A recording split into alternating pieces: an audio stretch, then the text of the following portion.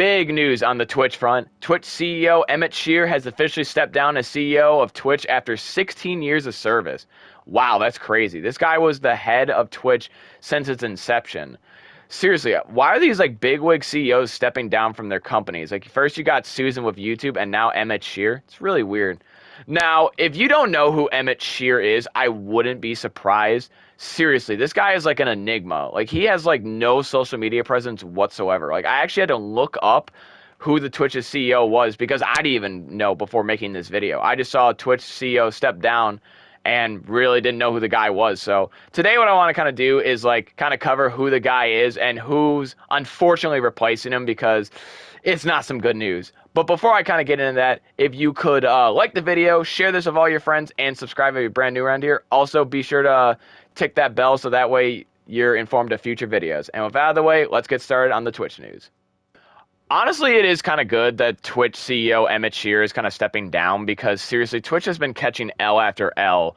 If it's not from, you know, the Adriana Chechik thing, if it's not from literally just like, you know, the streamers getting paid less to just any other L that they've kind of been just, you know, dishing to themselves. Like, they really need to like change the game plan because what they're doing is not working. And if they keep going at the rate they're going, then Kick is going to honestly be the new Twitch at this rate. Seriously. But yeah, honestly, Emmett has been a part of Twitch for longer than I thought. Seriously, he's been there since its inception in 2006. He kind of goes over this in his tweet, which is honestly the first time I've ever seen this guy even tweet. This guy's like been a ghost. Like I've never actually seen him like talk about Twitch or anything like that. So uh, I'm gonna read the you know tweet, and here we go. In October 2006, we started working on a live video for the internet. That became Twitch. More than 16 years later, I am now a father, ready to move to my next phase of my life. I wrote a blog post, but the short version is thank you so much to everyone who built this with me. Honestly, very heartwarming. Like that is a very heartwarming tweet, which is honestly something that like you kind of don't see like on Twitter, so it's really nice to see. But yeah, honestly, this guy has been a part of Twitch for about 16 years now. I didn't even know like Twitch actually even had a CEO. I just thought like Jeff Bezos literally just you know, did every decision there. I mean, it would explain why, like, all the, you know, policies and all that for the last couple years. It would kind of make sense, but no. Uh, Emmett Shear was the one doing it. And this guy was an absolute ghost. From like what I looked up in history, dude, this guy literally did like almost nothing in in Twitch. Like he never talked about it on social media. He never went to like any of the Twitch events. Nothing. Like this guy literally you you don't even know he was CEO. You could probably see him walking down the street, and you probably wouldn't even know he was a Twitch CEO. Seriously, that that's how like that's how like uh, much of an enigma this guy was. Just absolutely insane. But yeah, I saw a lot of people being happy about this news, and don't get me wrong, like it sounds like good news. It's like, man, this change is like, you know, right around the time like, you know, Susan left. Like, and that's kind of how it was for YouTube. But I don't think it's going to be good for Twitch because honestly, if it's going to go the way the EA went, like that's how I kind of see it. Like with the old kind of EA president to Andrew Wilson, which is the guy who basically makes EA games the worst. That's why literally every EA game like Madden, 2K, and all those games literally are the worst right now. He's the reason. So if you haven't played those games in a while, that's the reason. But yeah, I kind of think Twitch is going to go down that way too because they actually did announce who is going to be the new CEO, sadly. And it is the current president right now of Twitch, uh, Dan Clancy. So if you don't know who Dan Clancy is, allow me to give you kind of a brief rundown. This is the guy who essentially um, made that terrible decision of essentially the 50-50 split which is like the worst thing like creators have been like complaining about like they essentially went from like, oh, you get about 70% now to 50%. So he was the mastermind behind that. So already not off to a good start. See, with like CEOs and like people at the head of the company, you actually want them to be for consumers and actually for the people. But no, it sounds like this guy really is not for creators or people on Twitch. It sounds like he just wants to make a quick buck, and that's kind of why, like, whenever you like either watch my stream or anyone else's that you like, that's why there's ads everywhere. He's the reason. So yeah, guy's already been 0 for 2, so not really going good. And honestly, it's kind of scary because, you know, at least with like Twitch right now, like the guy who was in charge before, Emmett Shear, really didn't do anything. He was kind of more hands off and just kind of did whatever he wanted. Like he was more like, all right, you guys got this. This guy's more hands on, which could be a good thing, but at the same time, really bad because he's done two terrible policies so far. It wouldn't put it past me that this guy was definitely in charge of the um, of the uh, beta, you know, ban. I wouldn't be surprised if he was the one who did that too. Because again, Emmett Shear was the CEO for 16 years, and he didn't even know it. I feel like he probably just like, just like, oh, I'm the Twitch CEO. I completely forgot to resign. That's pretty much how he was.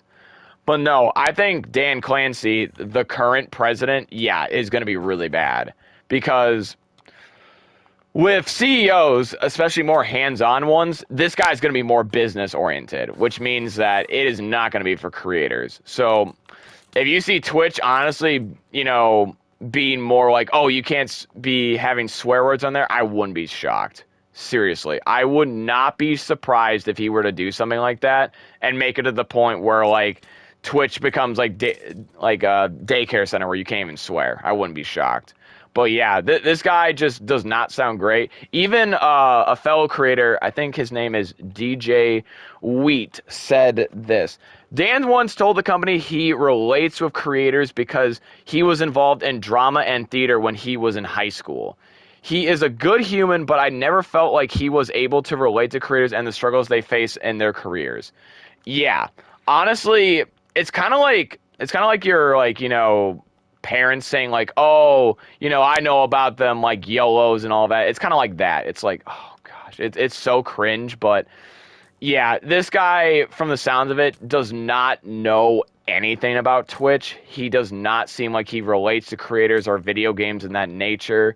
He seems more like a businessman at the end of the day and just seems more like an inept person that should not be running Twitch. Personally, to me, they should have gotten someone else, someone who was like, you know, either A, like a former streamer who, like, you know, goes to TwitchCon and is more an more of an ambassador or someone who actually just knows what they're talking about. See, like you want someone who actually knows what they're talking about, especially like if you're going for like a recommendation for something or better yet when like you want to run a company.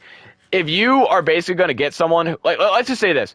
Let's say you're trying to get a personal trainer or something and you want to get the best personal trainer out there. You would get someone who looks like, you know, Hulk Hogan or like Arnold. You'd get one of them you would not be getting like local Starbucks dude who weighs like 350 pounds. You would not get that for, you know, fitness. You wouldn't. That just doesn't make any sense. You would definitely not get any sort of result with them. That would just be dumb. And that's the same way with Dan Clancy. This guy seems like the worst, you know, CEO, seriously. Like he seems like the worst possible choice because he does not relate with the creators and he's been in charge of the two worst decisions to possibly, you know, go on the platform. I honestly think it might get worse, and people might just go to Kick because, unlike Dan Clancy, the guy who made Kick is a former streamer, and he actually, you know, has streamers' minds and heart. That's what I mean.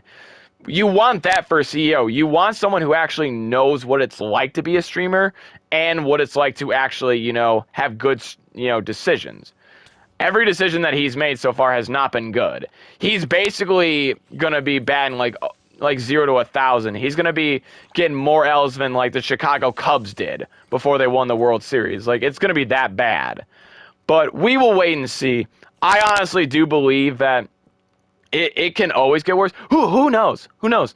This guy could completely pull a 180 and just literally become the best CEO I mean, look at what happened with um, yeah, look at what happened with Respawn.